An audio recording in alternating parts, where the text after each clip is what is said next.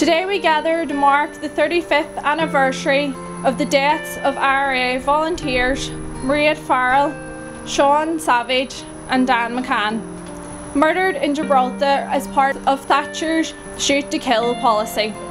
Volunteer Kevin McCracken shot and killed on active service by British Army in Turf Lodge. John Murray, Thomas McErlean and volunteer Caoimhín Mac Brádaigh killed in defence of their people when loyalist Michael Stone attacked mourners as our community buried our patriot dead. We stand today to remember and to rededicate ourselves to achieving the, the Republic they fought and died for. I want to extend the warmest of welcomes and express solidarity on behalf of everyone gathered here today to the families of Mairead, Dan, Sean, Kevin, Caoimhín, Thomas and John. As a young woman, I am inspired by our comrades and as a new generation of young Irish Republicans step forward, we take up the baton and we do so in the full knowledge that we are indeed standing on the shoulders of giants. Grateful for the sacrifices of those who came before us. Our main speaker today is Mairead Farrell, TD, the namesake and niece of IRA volunteer Mairead Farrell. Mairead is a trailblazing representative for Sinn Féin in Galway West and I'm delighted to welcome her to West Belfast today. As an Irish Republican, it is an incredible honour to speak at the graveside of our patriot dead at the Republican plot here in Milltown Cemetery. And I do so for the first time as a Sinn Féin TD. And I am very conscious that if it weren't for the influence of many of you here today, as well as the impact that the events we commemorate today had on my family, that I would not be with you in this capacity. And in fact, I can say that without a shadow of a doubt, that the influence of our friend Bobby Storey had on me with his encouragement, his incredible political mind, and his amazing ability to instill self-confidence in everyone he spoke to is what has me here today. Of course, as we all know, Bobby would have said, I sure you could have done it without me. But every single time that I am in Belfast, I think of Bobby. And every single time that I stand up in Dáil Éireann, I do so as a proud Galwegian, proud of the community that I come from and the people that I represent. But equally, I do, do so with the knowledge of where my family comes from. And I cannot wait until the day that our Seanadóir Niall Ó Donnghaile is joined by other Belfast Sinn Féin representatives when we achieve a united Ireland. So as Mairead Farrell TD, I am incredibly proud to be here at the graveside of Óglacha Mairead Farrell. Agus a cháde táid bailthe le chélan seo anneo chun cumara dhéana ar ar óglaí Dan McCann, Sean Savage, Caoimhín Mac Brádaigh, Kevin McCracken agus Mairead Farrell, chumá le Birch Iarchróige, John Murray agus Thomas McErlean and we gather with their families and their friends and our families brought together and linked together forever as a result of those terrible 10 days in March 1988. And I just want to thank Belfast Sinn Féin and the wider Republican uh, family here in Belfast, as well as the Felons, for hosting a lovely event this morning um, that brought our families together again. But if we look at the history of Ireland, there is no question but that Gibraltar was a seismic event which had a huge impact on the history of our country. And that impact was not just felt by the people of Belfast, the killing of Mairead, Dan and Sean was felt by so many of the people of Ireland. And that solidarity from among the wider population and the wider community was clear from the huge outpouring of grief across the island, which saw thousands of people who gathered in the streets along the route as the three bodies of our comrades were brought from Dublin to Belfast and I'm all too well aware of the very long journey home from Gibraltar, which added to the pain and trauma of the people who love them.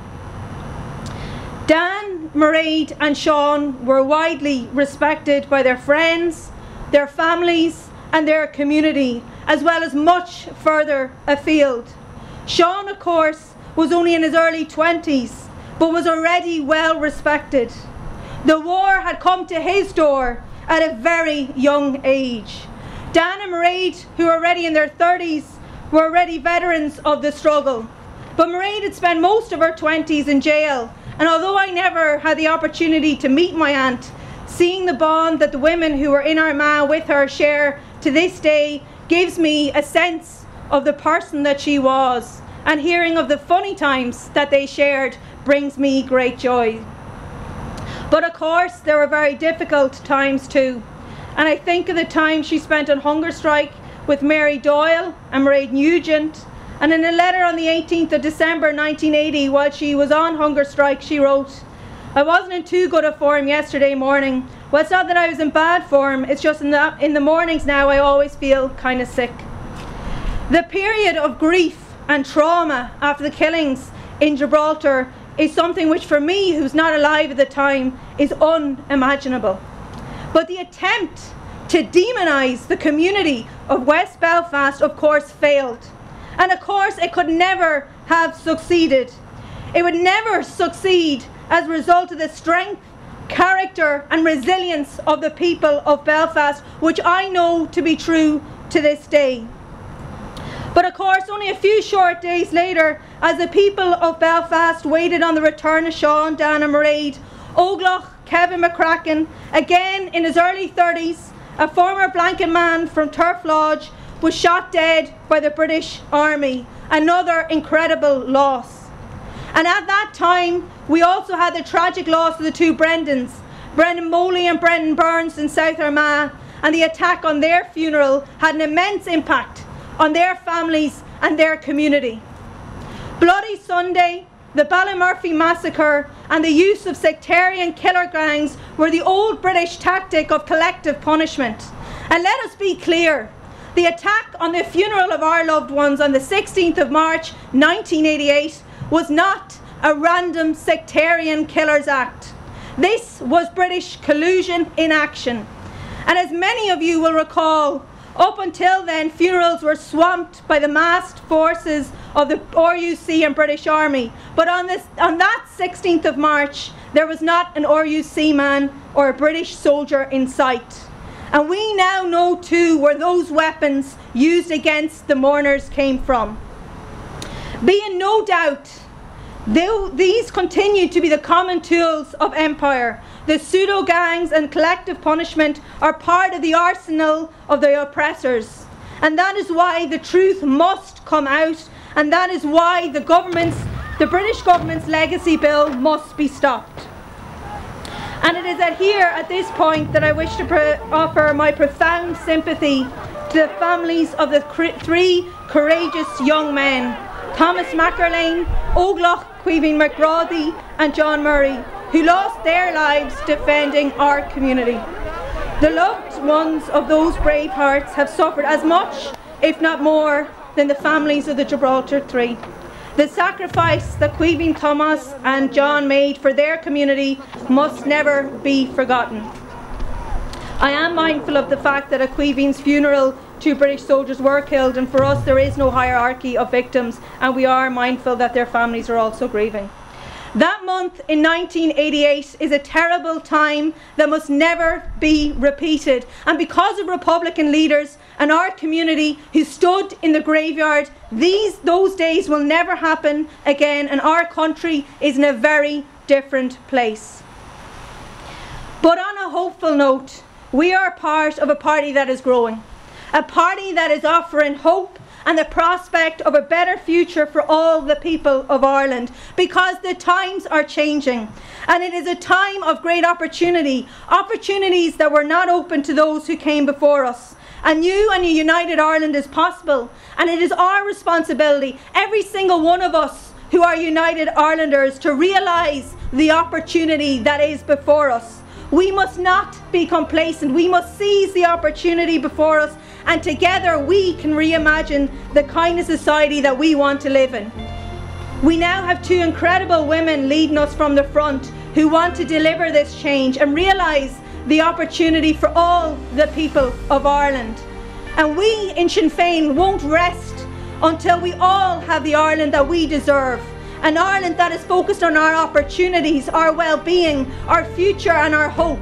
And until we can all feel that hope, until we all know that there is space for every single one of us here with opportunities to build a life and look to the future. And I am proud to be part of a party that is boldly reaching for that future because together we can do all of this. But in this week, the week of International Women's Day, as I remember the women in my family, I also wish to pay tribute to two unconquerable women. Rita O'Hare who we buried this week, was a force to be reckoned with. And in her in her last conversation, she actually told me that she, like Mairead, went to Rathmore Grammar School. And I think we can all say, and Cliona did as well, that the, that school has a lot to answer for. But Carmen Proetta was the woman who became part of all our lives when she witnessed the British government's shoot to kill policy in its most blatant form. Carmen, despite having no links to Ireland, and no matter the consequence, spoke truth to power. And for that, we will always be grateful. Gurmina Mahagut a Carmen. Carmen and Rita showed strength of character and of mind. And we continue to be inspired by them, and we must follow their lead. Because as we continue to build towards Irish unity, we must remember that there will be challenges ahead, but that working together, we can and will achieve a united Ireland that will deliver for all. So, on conclusion, to quote my Auntie Mairead for the first time, your mind's your strongest weapon, and that's how we always counteract whatever they do. Because they can't control our minds. They can't get inside them, and that is their failure. Bury Mishbua.